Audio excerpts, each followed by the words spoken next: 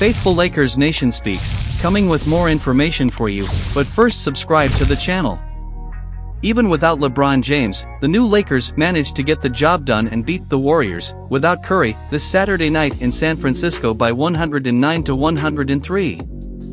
It was an even game, with Jordan Poole scoring 17 points in the final period to keep the Bay Area team in the game, but Anthony Davis's great defensive performance prevailed to help the Lakers beat the defending champions away from home. Overall, the Lakers' new additions were positive.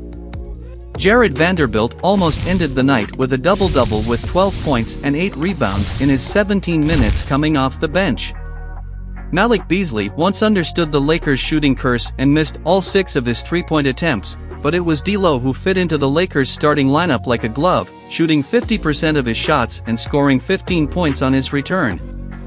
Enjoy leave your like and activate the notification sign and stay into the Lakers world.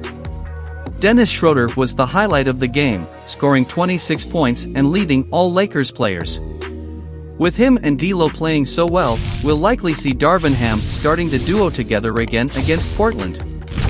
It was just the Warriors' seventh loss at home this season. With this road win, the Lakers ended their three-game losing streak and improved their record to 26 to 31.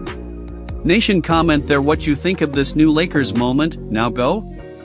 Your opinion is very important.